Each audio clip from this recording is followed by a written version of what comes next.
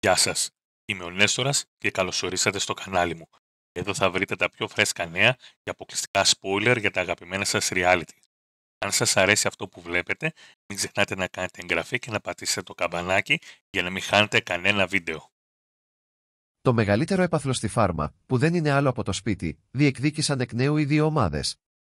Μετά από πέντε πολύ δύσκολες δοκιμασίες, όπου οι αντίπαλοι παίκτες ήρθαν αντιμέτωποι μεταξύ τους, η πράσινη ομάδα με 5-2 έναντι των γαλάζιων ήταν αυτή που κέρδισε στη δοκιμασία.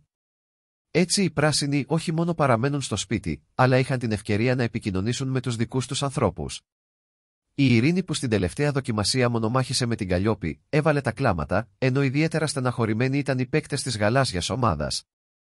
Ο Νίκος Κοβέος έριξε το φταίξιμο και στον εαυτό του για την ήττα αυτή, ακόμα και αν ο ίδιος κέρδισε, ενώ η Λαρού είπε στον Λεωνίδα Κουτσόπουλο ότι στεναχωρήθηκε περισσότερο για την επικοινωνία, παρά για το σπίτι. Κλείνοντας, ο παρουσιαστής ανακοίνωσε ότι από την επόμενη εβδομάδα οι προμήθειες και στις δύο ομάδες θα μειωθούν αισθητά.